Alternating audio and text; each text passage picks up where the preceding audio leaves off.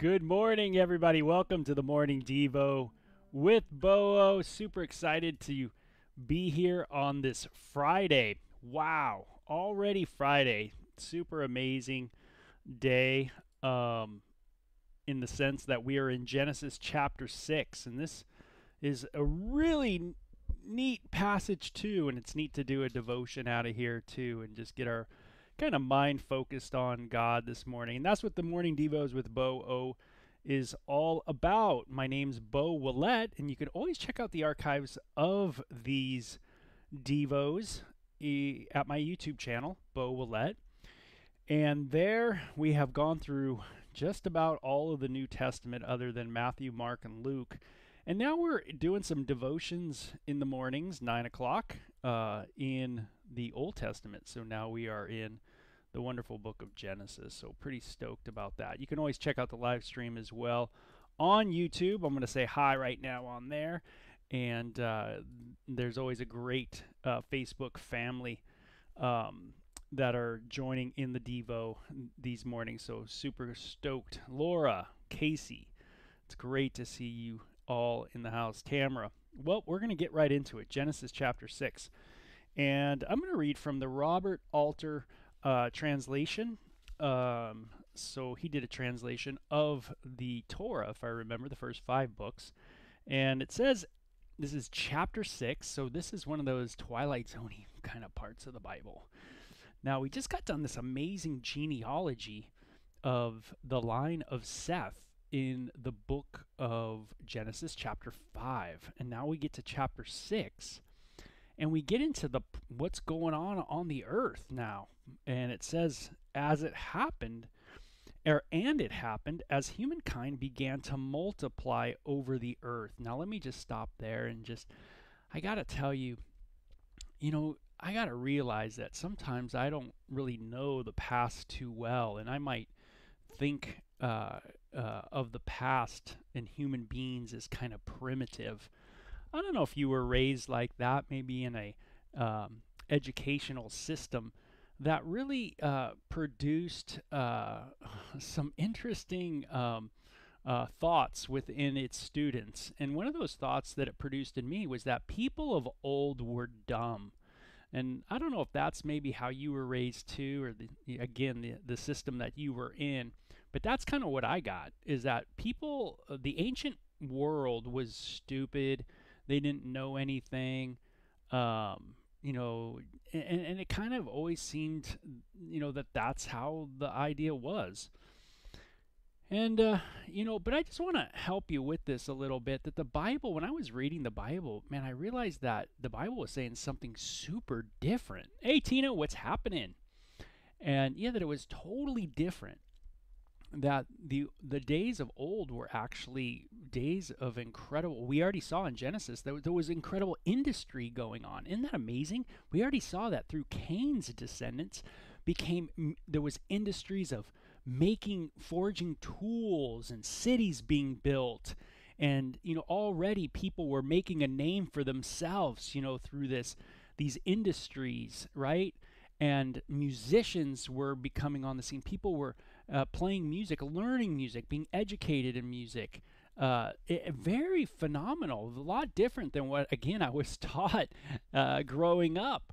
Um, so sometimes education can, um, you know, we think it's always great, but it can be something quite interesting. Bob Marley once said, the famous reggae superstar, he said, uh, "Me say the people he's he talked about education system graduating thieves and murderers. Wow that education systems sometimes aren't graduating people aren't teaching the right thing. He was basically getting to the point that sometimes education systems are teaching wrong things. And um, and yeah so i kind of had to relearn things. And you know uh, i think of that this morning and just god give me a sensitive heart to relearn things according to your word. Help me help me to learn what you say about what how the world looks. Let me get a world view from your word, not from what maybe man might think or what man might say. To uh, knowing that man is, mankind is limited, human beings are limited, but knowing that you that you've given us a history and you have revealed yourself throughout it, throughout what you've given us and help us to understand the world according to what you say, not so much according to what I say.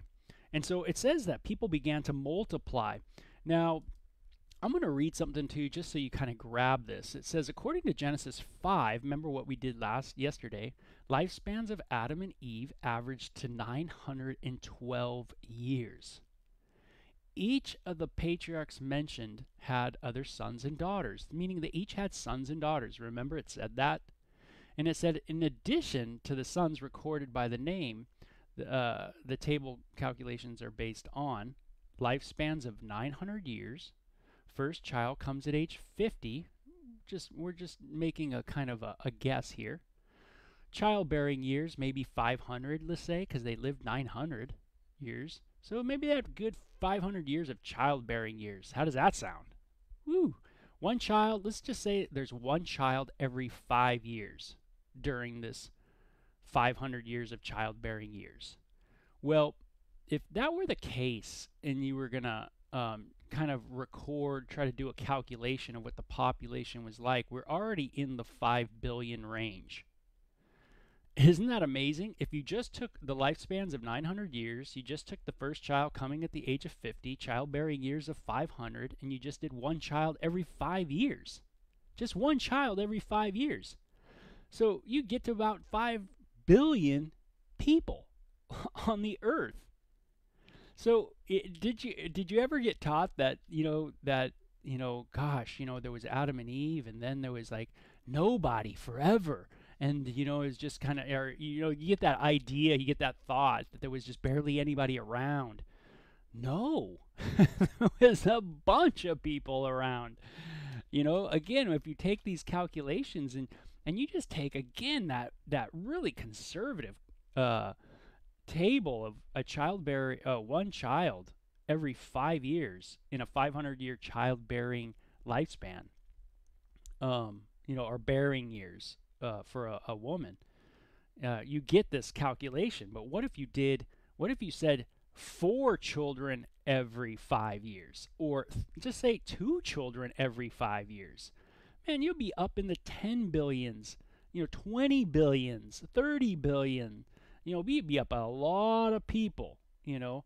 There happened as humankind began to multiply over the earth and daughters were born to them. Wow. Many people uh, on the earth at this time. Now, we got a, a note too from the last uh, study that we did, the last little devotion, that the names all in Genesis chapter 5 really meant something. It meant a real story of the gospel of Jesus Christ. There were some some really interesting pictures of what everybody's name meant and if you put them all together it said something that was really cool. And maybe I'll bring that up uh, to again just to show you maybe what that was like cuz that was kind of neat I thought. So let me see if I can bring this up to you guys. Let you see that. Yeah, that was that was yesterday. And you guys saw that. So that was pretty cool, right? Ooh, let me see if I can get that right. Yeah, you guys see all that? I'm hoping you can. There you go. You know, so anyway, I just wanted to show you that again. But let's go into this. So daughters were born. They already had the message of the gospel. It was kind of laid out there. And um, people's names meant something. Uh, Methuselah's meant judgment is going to be coming. Ooh, you know, gosh, uh, you know, upon his death, it says judgment. Um, that's what his name was meaning. Upon his death, judgment. And so there was some insights, some little hints into something's going to happen. But here we see daughters were born to them, and that the sons of God saw that the daughters of man were comely. And now I'm not going to get into a full blown Bible study on this, but I'm going to tell you this is that I have had two wonderful, wonderful pastors leaders, teachers, professors um, invest in me over my life. And uh, super thankful for both of them. One of them is a gentleman named uh, David Guzik, and another one is Scott Richards. And both of these men, I super value their investment in the Bible. And what I find is so fascinating is both of them have different takes on this passage. And, you know, I would always recommend you go to enduringword.com and you could check out what David Guzik says on chapter 6. And you can also go to calvarychristianfellowship.com and you could check out, uh, find uh, um, Scott's Genesis 6, just in the search, you might want to put in Genesis chapter 6. See if you can find his audio of Genesis 6 and listen to his, eh, or listen to a reason for hope. And he has answered this question many times of uh, his thoughts on Genesis chapter 6 and what it's about. But they're different. And so there you go. You can have two different teachers and professors, and they can have different views uh, on it. But I respect them both. For our Devo purposes, let's read this.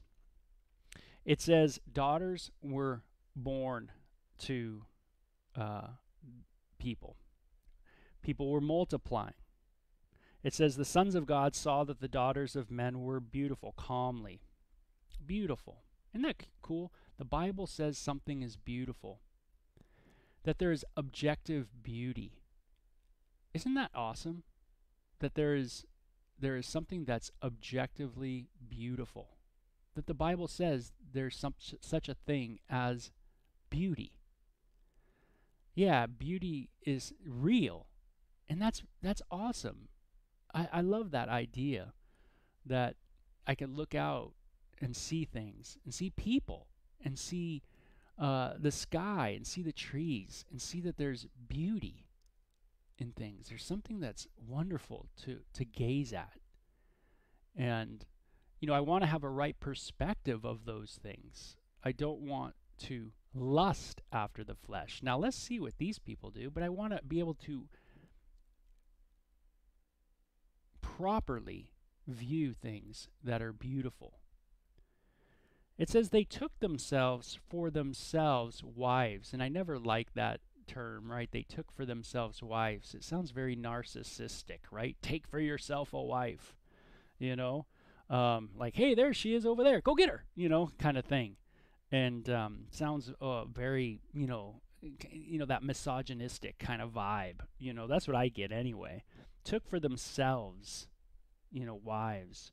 Lord, help me not be that way. Help me not be that narcissistic guy. Help me not be that one who looks at someone and objectifies for my own personal gain, you know, my own personal desire.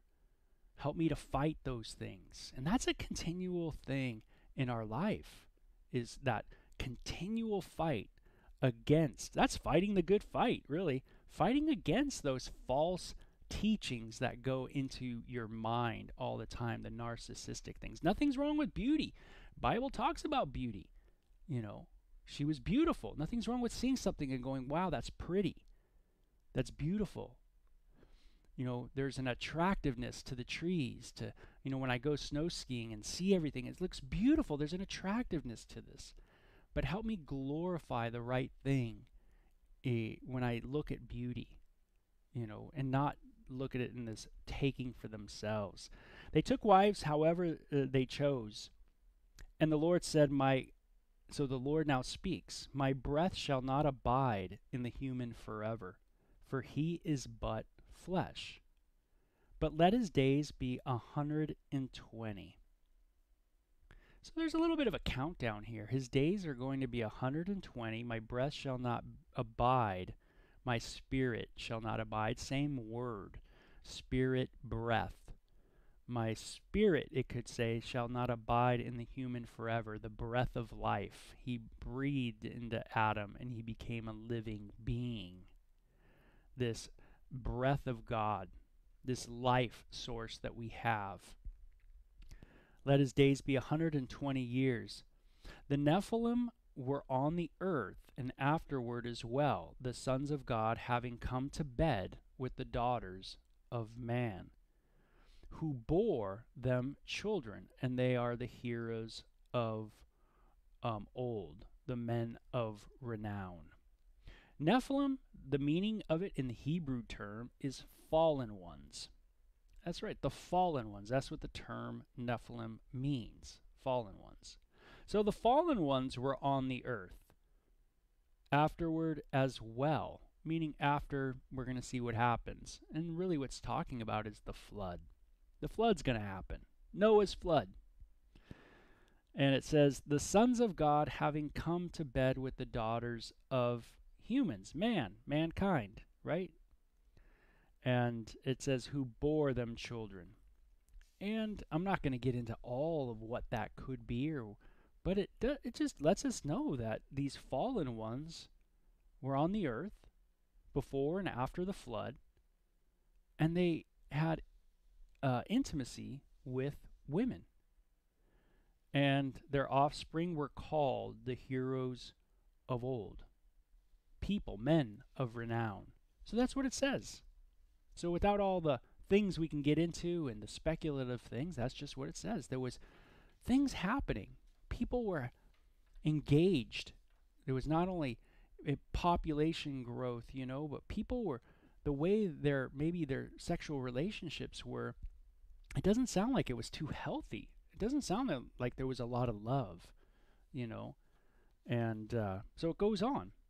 Now God says, "Hey, my breath's not going to be with humans Uh, he says, But let his days be a 120. And the Lord saw that the evil of the human creature was great on the earth, and that every scheme of his heart devising was only perpetual evil. everything was evil. In who? In the human creatures, in human beings. Oh man, are we so prone to fall? Are we so prone to move away? Evil. Are we so prone to be bent? That's what I, I like when I when I see hear the word evil. I think of bending, bent. The Lord saw the bending of hu- the human creature that He was great on the earth. It was great on the earth, uh, uh, and that every scheme, every scheme, the schematic, right, the layout of His heart was always bent devising only what was perpetually evil. And we can take any subject as human beings, man, and we can bend it extremely. There's so many things I could talk about about this chapter, but it's it's it's pretty hardcore of how humans have distorted so many areas of life. And we've tweaked them utterly and you know, when you think depravity can't get worse in us, we do it. We we invent it. You know, we'll we'll make it up. Oh God, you know, the psalmist said, "No one living before you is righteous." Boy, do we need saving. If there's anything these chapters tell us right here is that man, we need help. You know, when when I read this as a 17-year-old, it was, "Wow, man, we need some help." And when it said every thought is evil, I went, Amen. That's true. Everything is a little tweaked in me, you know? And um and I think you might even admit some of that yourself that man, you know what, things are kind of tweaked in me. And, you know, before you can get help, you need to admit that something's wrong. And here there's a clear indica- in, indication from the scripture that something's wrong. Even the godly line of Seth from chapter 5, it looks like is is bending, right? Because it said the Lord saw that the evil of the humans was great on the earth and that every scheme of their heart was going astray. So even that wonderful godly line of Seth that seemed to be walking with God, man, it seems like everything started to get tweaked. You know, so, hey, Paula, hope you're doing great. It says, And the Lord regretted having made the human on the earth and was grieved in the heart. God is a personal God. You see the personhood of the Lord. And this is the unique thing about God. God can be the ruler, the judge, right? The one who doesn't submit to nobody. And then you see that Jesus, the Son of God, is one who submits and who is meek and who um, walks in these humble ways and is sad and burdened and these kind of things. You see the uniqueness of God. God can have all these different characteristics. And I will wipe out the human race I created from the face of the earth, from human to cattle to crawling thing to the fowl of the heavens. For I regret that I have made them. But Noah found grace in the eyes of the Lord. So the only way human beings can continue is through grace. That's it. And that's that's just like with me today. The only way I could really glorify God today is going to be by grace. It's not going to be by my effort. It's going to have to be a work of grace. And I hope I could submit. I want to submit. Lord, help me to submit my heart, my mind, uh, my body to you. Help me surrender. Uh, you know, help me to go through the death I need to go through so that I can experience a life that's more glorifying to you. And then my instead of my own wants my own things right? Grabbing people for myself right? That kind of idea. Are you using people in your life for yourself? Is that why you have them in your life? Are they are they just usury? Um, or are you wanting to glorify God in those relationships. It's a good thought, you know, something to think about. So Noah finds grace in the eyes of the Lord. This is the lineage of Noah. Noah was a righteous man and he was blameless in his time. And what kind of time was this? A time where the, uh, there was evil in all the human creatures. Now, Jesus said something in the book of Luke that's pretty interesting, and I'll read it to you just so it kind of gives us a little more context into maybe our day today. But Jesus talking about the last days, something in the future from where we're at today, says, And it was, uh, or as it was in the days of Noah, so it will be in the days of the Son of Man. They ate, they drank, they married wives, they were given in marriage until the day that Noah entered the ark. And it says, until uh, the flood came and destroyed them all.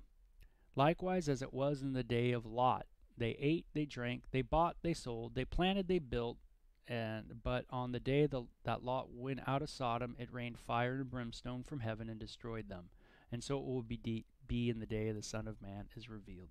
So all these things are going on in Genesis chapter 6. There's evil in the hearts of people, there's distortions, there's massive uh, population, massive intimacy going on, uh, maybe even some strange intimacy, uh, something that seems very abnormal, or not what God intended. Let's say it that way.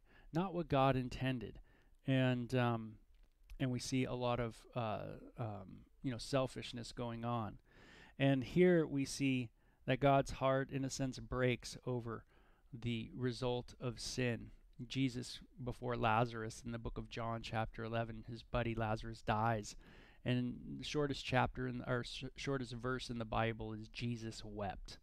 Jesus saw the death, uh, what death brings, the destruction, and, and, and wept. So it says Noah begot three sons Shem, Ham, Japheth and the earth was corrupt before God. So here we keep saying this. The earth was corrupt before God, and the earth was filled with outrage. This whole idea of corruption, evil, outrage. And God saw we are in rebellion against God. This is a theme throughout the Bible that now that we are separated from the deity, um, and we are we are in a sense have gone drastically the other way, that our hearts are prone to not seek God, but to seek our own and God saw that the earth and, and, and it was corrupt. We have a knowledge of good of good and evil now, and we um, are bent towards the evil. Though we know the good to do, we are bent towards the evil. Um, we ate from the tree of the knowledge of good and evil. So God saw the earth, and, and look, it was all corrupt, for all the flesh had corrupted its ways. So a lot of corruption, corrupt, corrupt, corrupt. Things are corrupt. Things are tweaked. Things are corrupt. And uh, it says, um, and um, God said to Noah, The end of all flesh has come before me, for the earth is filled with outrage by them. And and I wonder if that outrage is even a vehement hatred of God, knowing good and evil maybe there's a incredible hatred of what happened um, uh, in the garden. I don't know, but maybe there's an incredible um, resentment towards God that's going on. You know, do people have an anger towards God today? Do people get mad at God? Do people feel that God is not just or God is not righteous or you know, if there really is a God, he would do it this way. Do people talk that way today? Yeah, absolutely. If there really is a God, he would do this. Or if he was really a God, why would he allow that? You know, still people have this outrage in them, right? This full-blown outrage. So I don't think I don't think we're much different today, if at all. And it says, "And I am now about to destroy them with the earth." Now, I, when I read this, I think of it this way too you know, you know, as God's creation, you know, God certainly has the right to do what God needs to do. God will uphold his righteousness. And he can uphold that righteousness just as a judge upholds the righteousness of a law in the courtroom. And am I okay with that today? Am I okay with God ruling the way God needs to rule? Or am I going to fight God on how he's ruling the world? Is that going to be my day where I'm going to brawl God? Why does God do this? Why does God do that? Why is he doing this? Is that what I'm going to be doing today? Or am I going to trust that God is going to do things to uphold his name and his righteousness and his justice. And he's going to do it to uphold his grace also and his mercy and his love.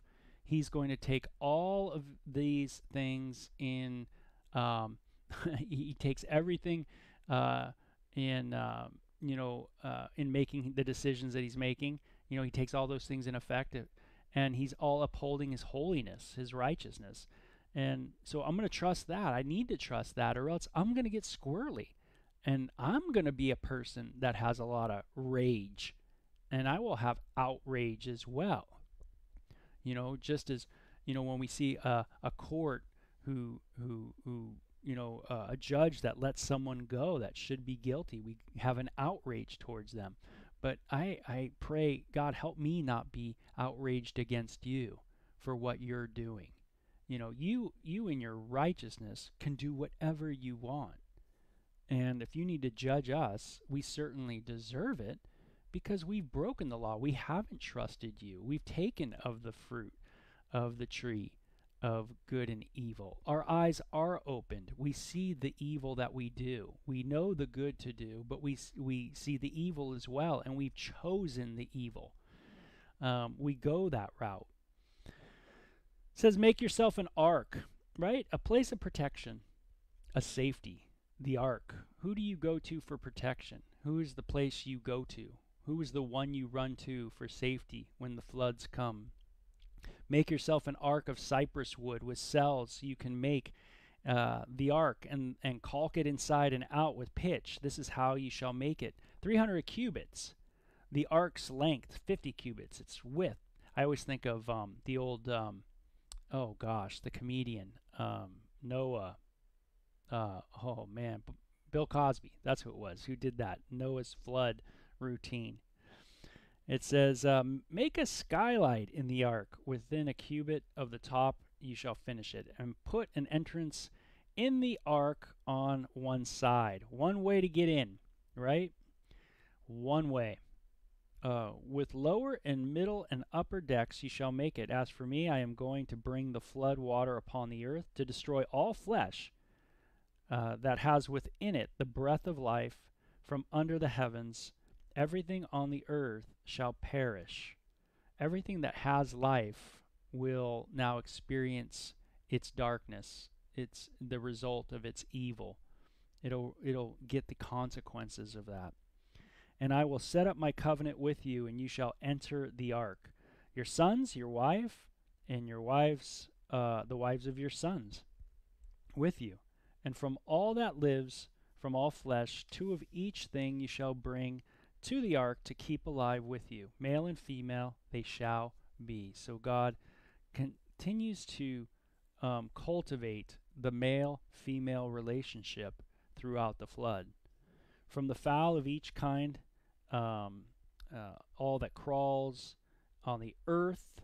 Um, uh, two of each shall come to you and be kept alive, and you shall take uh, from every food that is eaten and store it by you. And, that's how it goes. And so Noah did all that he uh, God commanded, and so it was. And so Noah found grace in the eyes of the Lord. And the ark can be a real picture of Jesus for us, right? There's one way to enter, one way to go in. Um, and he is our if our if you will our safety he is our construction he's the building that we go into and we find safety in and we so we see a little bit of that picture of Christ in the the refuge um, of the ark for Noah and Noah is that picture of one who is the remnant, the one who find the, the, the group of people that find grace in the eyes of the Lord. Um, and boy, you know, I want to be that person who finds grace in the eyes of the Lord. And uh, aren't you just thankful today that your eyes maybe are opened to Jesus? Do you find yourself just thankful for that? That man, I know, I know the ark. I know what it's there for. Uh, there's one door, and I can enter into, and I'm going to go into that. Um, you know, that kind of thing. Um, today, are we okay with the way God judges, the way God's rulership of the world is? Do we see the depravity of human beings? Um, for what it really is that it really is depraved, that humans are bent, that we are a mess, that humans, no matter how much we try to do the right, we always go wrong directions. Uh, do we see that there is a need for judgment in humanity, a humbling that's needed um, in us as humans, um, and that God is righteous to judge us um, according to His laws? And so, but he makes a way out. He makes a way out. And that's what we get from chapter 6. Though there's so much chaos going on and corruption and outrage, um, and think of how many people. Oh my gosh, you think it's you think it's uh, populated today. You know, you think we're populated today. What if the world was double, triple that back then? And and people are in utter chaos and rebellion against God, doing what they want to do. Um, yeah, it's su- super sad, but this is the the one of the things that we have to just settle our hearts on uh, to be able to walk at peace today is just to know that um, I am a person in need, and that my need is a spiritual one. I need to be made right spiritually. And all the physical things of this earth are not going to help me in my mind and in my heart. They'll satisfy, there'll be things for the taking, there'll be things for my flesh to desire. But they won't satisfy the heart, and they won't help me to love other people. They'll continue to help me to lust other people and demand, but they won't help me to love. And so I need I need I need an ark. I need a place where I can go. I need a refuge place I can run to and find the help that I need, find the safety that I need. And that's what the ark is too. It's great safety for Noah. Jesus is great safety for us. He says, Come to me, all who are heavy laden, and I will give you rest. Take my yoke upon me. He says, Come to me. He says, For my burden is is is easy. It's it's light. You know, so come to me, you who are burdened by something. Go to the ark right? Go to the ark. You who have found grace, you whose eyes are opened, go to the ark. Very cool. So, hey Paul, I'm glad you liked the names of the biblical names. Yeah, that's that was definitely neat, right? A real cool picture of the gospel. So anyway, that's Genesis chapter 6 and very cool. A lot of lot of Bible studies based off that chapter for sure, but I hope we got some good gems out of there in the Devo this morning. So you guys have a great weekend. Thanks for joining. Tamara says, "Oh yes, I would gladly enter the uh, enter the flood for this corrupt time to be cleansed away." Yeah, um, that's right. And uh, yeah, we look at the world and we see how crazy it is, and um, and I'm I, I, would imagine back then it was even worse. So um, you guys have a great one. Okay. It's so good being with you this morning. Take care. Stay in the Word. Bye bye.